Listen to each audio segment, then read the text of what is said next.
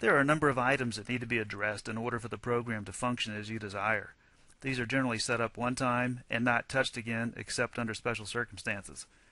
Input the name of your facility or company. This information will be displayed in the upper right-hand corner of the web portal and will print on visitor passes and badges. Enter your entry points. This may include names such as the main lobby, primary gate, and so on. If the entry point serves one particular portion of your property only, you can link the entry to those properties or buildings.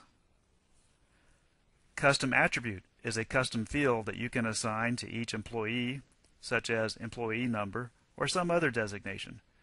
This field can be used as an additional lookup field in the visitor processing client or to confirm someone's identity. The dynamic field is a selectable option that allows you to display one of these fields in the visitor processing client along with each host name. You may set the system's maximum visitor duration. This parameter will determine the maximum period of time a host can enter a visitor for.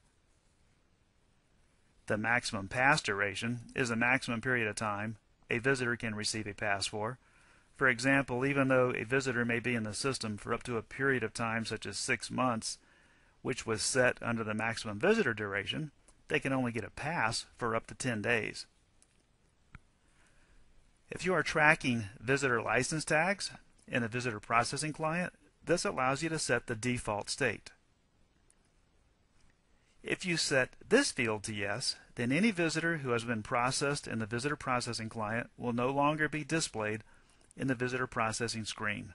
This removes clutter from the screen, but the visitor may still be searched in the screen if they return and need a new pass. Any note that you want displayed on the visitor pass may be entered in this field.